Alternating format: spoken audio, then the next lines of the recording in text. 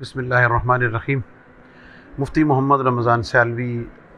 خطیب جامع مسجد داتا دربار، آپ سے مخاطب ہوں۔ نبی کریم علیہ السلاۃ والسلام کی اس دنیا میں تشریف آوری اور حضور علیہ السلام کی بحثت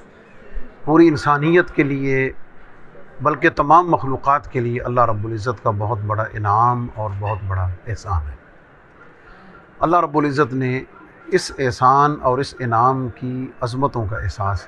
قرآن مجید میں بہت جگہ پر دلایا ہے۔ یہی وجہ ہے کہ امت مسلمہ کا یہ معمول رہا ہے کہ وہ نبی علیہ السلاۃ والسلام کی ولادت اور حضور علیہ السلام کی بیست کے حوالے سے اپنے اپنے ذوق کے مطابق اس پر خوشی کا اہتمام کرتے ہیں اور آنے والی اور موجود نسلوں کو حضور علیہ السلام کی سیرت کا پیغام محبت کے ساتھ دینے کے لیے مختلف طرح کی کانفرنسز کا، اجتماعات کا، جلوسوں کا اور خوشیوں کا اہتمام کرتے ہیں۔ ملک خدا داد پاکستان جو صرف اور صرف دو قومی نظریہ اور اسلام کی بنیاد پہ ہمارے سے وجود میں آیا ہے، ابتدا سے ہی ملک پاکستان میں تمام تر مسالک اور تمام تر، بلکہ اب تو میں تمام تر مذاہب کو بھی کہوں گا کہ وہ کہیں نہ کہیں کسی نہ کسی سطح پر اپنے اپنے انداز سے اس پر خوشی اور مسرت کا اظہار کرتے چلے آئیں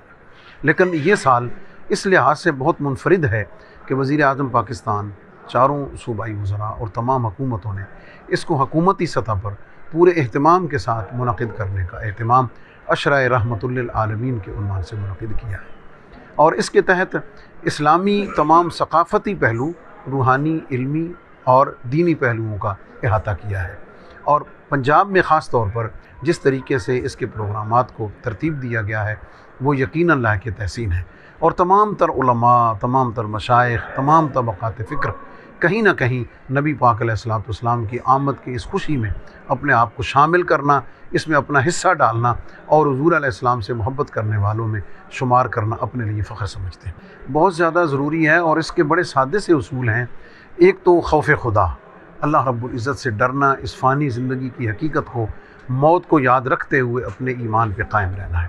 دوسرے نمبر پر اپنی خواہشات کو محدود کرنا ہے اور اپنے آپ کو جہاں تک ممکن ہو سکے، خواہشات کے پیچھے دوڑانے کی بجائے کفایت شعاری، صبر اور جتنا اللہ رب العزت نے عطا فرمایا ہوا ہے، اس کے اوپر اکتفا کرتے ہوئے اپنے آپ کو ایک مناسب اور معتدل انداز سے آگے بڑھانے سے ہی ہم بحثیت قوم اپنے آپ کو بہتر قوموں میں اور اچھی قوموں میں اور عزت والی قوموں میں ہم شمار کر سکتے ہیں۔